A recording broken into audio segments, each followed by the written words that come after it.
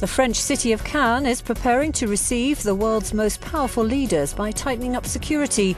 Leaving nothing to chance, police have scoured the area before the G20 summit gets underway later this week. Everything from sniffer dogs to high tech gadgets have been used by police looking for any potential threat.